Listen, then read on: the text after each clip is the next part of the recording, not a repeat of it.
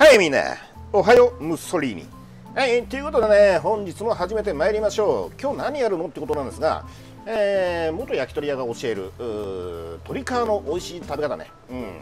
えー、これやってみたいと思います。それではね早速薬局スタートしましょう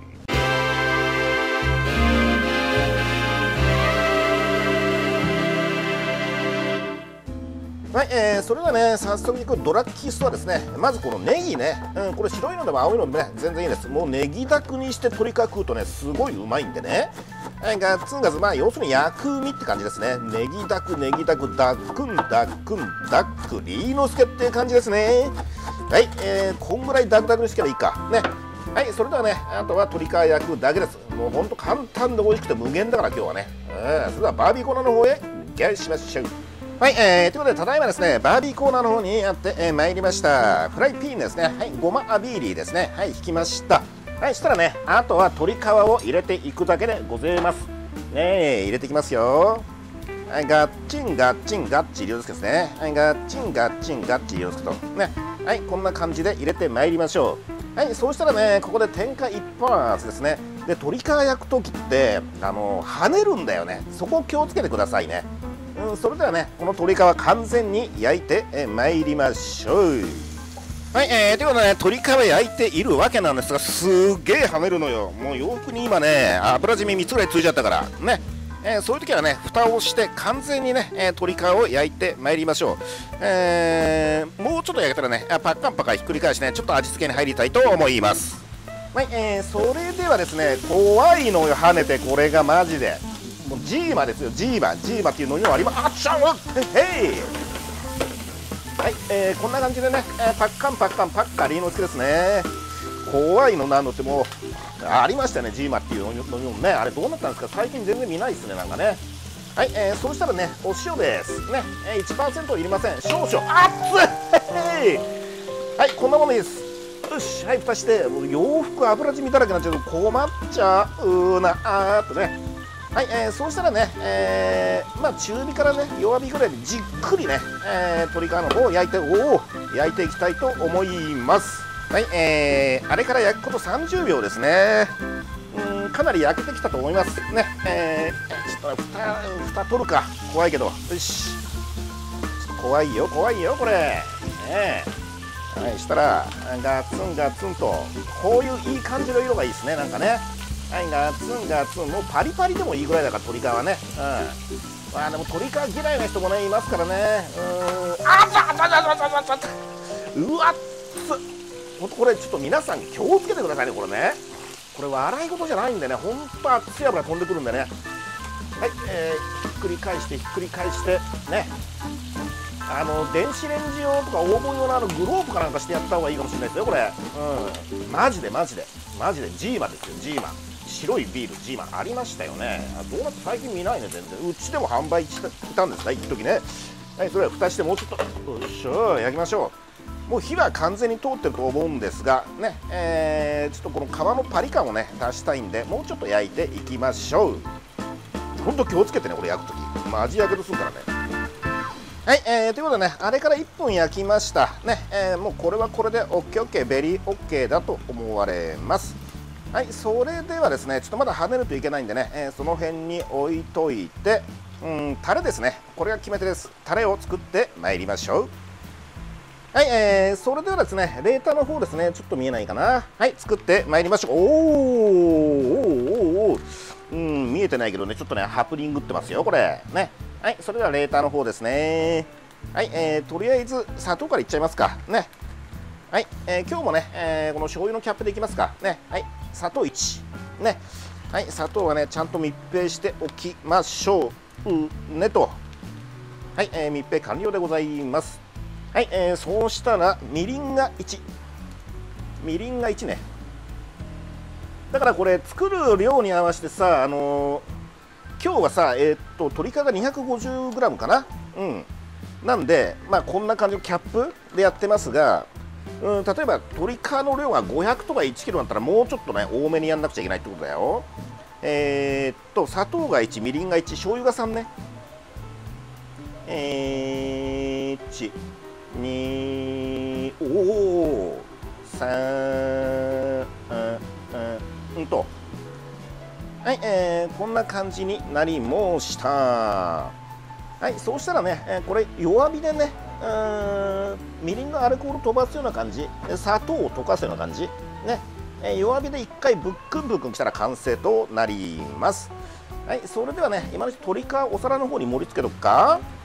はい、えー、いい感じでね砂糖を溶け申したね。うんもうちょいぶくってる？ぶくってやる？うんとはいよろしいでしょう。はいこれでねレーターの方完成となります。それではね盛り付けてまいりましょうか。はい、えー、ということでねお皿の方用意いたしました。鶏キャワですね。トリッキーキャワーですね。すごいねこの油。ごま油プラスこの鶏皮から出た油。ね油はあんま入れない方がいいね。でこの油はさあのー、何？もやし炒めたりとかさあのー、肉野菜炒め作ったりとかさえー、ラーメンの最後にこう血油でこう浮かばすとかさするとすごい美味しいんでね。これ捨てないで取っときましょうね。はいもうカリッカリですよ。カリッカリトリカですね。はいそうしたらうーんとレーターかけちゃいますか。ね。はい今作ったレーターですね。はい、えー、バッツリーナと。ね、はい、ちょうどいいぐらいですね。はいこんな感じになりました。あとはネギをダックンダックンダックリーノスケですね。はい。ぶっかけるだけよ。ね。はい、オッケーオッケー。ベリーオッケーではないの。はいこれで完成ですよ。酒のつまみになるし、えー、ご飯のおかずにもなるし。ねおじいちゃんのおやしくにもいかがでしょうか。ね非常にね、えー、鳥なんで言うて低いんでね。はい。はいそれではねテーブルの方に運んで食してめりましょう。はい、えー、ということでただいまですねテーブルの方に無限鶏キャワですね運んでまいりました。非常にうまそうじゃないでしょうか。もう皮っぱりですよ。皮パリね。はいそれでは早速薬局ですね、えー、いただきましょう。なんかフラッシング フラッシングしちゃってなんか色が青いねみたいなね感じですね。はいえー、七味一味ガツガツ出た？出てる？どう？出てない？からか？出てんのか？ん？どうよ、まあ、少し出たからいいとするか。はいそれではね、えー、本日は、えー、あれですよ。うんまあとりあえず飲みたいよ。飲みたいけど昼でこっから仕事入るんでねこれですよ。パリカワですよ。いただきます。うん。これおいしいうん。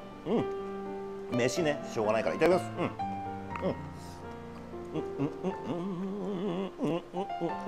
うん。うん。もうネギと混ぜてこうですよねうん。つながってるね。熱これ食う時熱いから気をつけてね。これ出来たてはね。うん。いただきます。うん。うん。うん。うん。うん。うん。うん。うん。うん美味しいね。うん。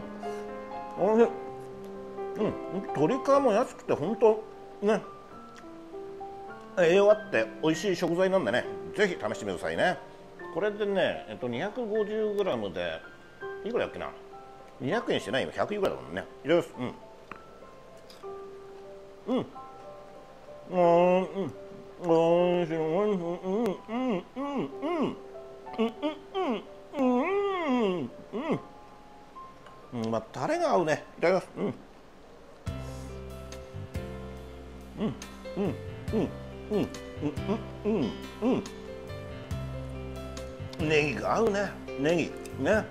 の尻尾のところの青いところいいから。ねがっつり。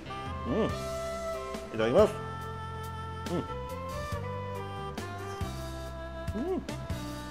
おいしい。うん。うん。うん。うん。いただきます。うん。うん。これねマジつまみになるからねこれね。うん。うん。簡単ですね。うん。